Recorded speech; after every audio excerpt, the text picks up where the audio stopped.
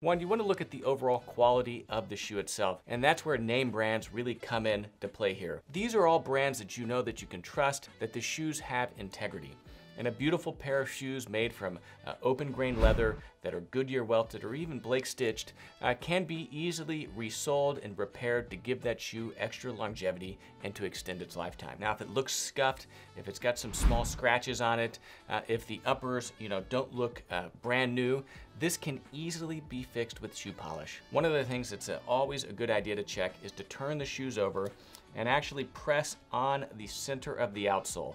You want this to feel firm.